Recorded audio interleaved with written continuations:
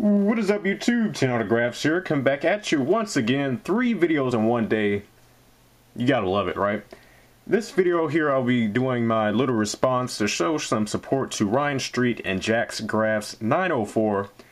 Two great guys in this community here on YouTube.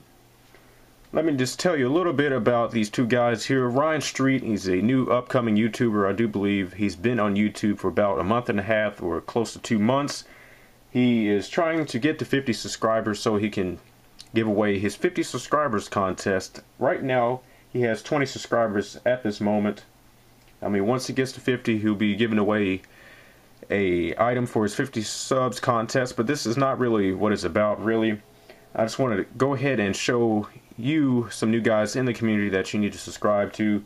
Ryan, he's posted, I, I can't even see right now, probably about 10 videos at the moment. I'm just, just a rough estimate.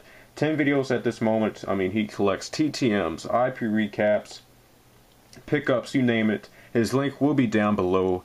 He's a new guy in this community, so if you're not subbed to him, please go do so.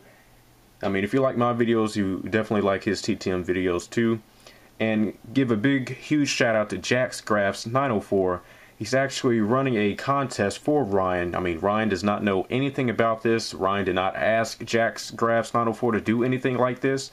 This is a great guy in the community, Jax Graphs 904. IP recaps, eBay pickups. I mean, I can't even count how many videos that he's posted he has a lot of great content, especially when minor league season starts. I mean, he gets a ton. I mean, a ton of autographs. So if you like IP recaps, especially with baseball, you would definitely like Jax Graphs 904.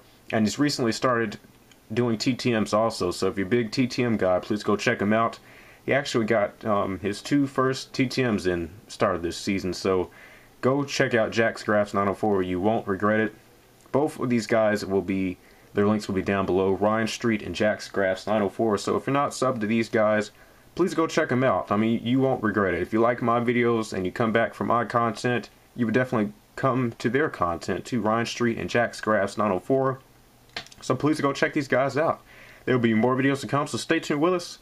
Please sub to Ryan Street and Jax Graphs 904. See you guys next time. Take care.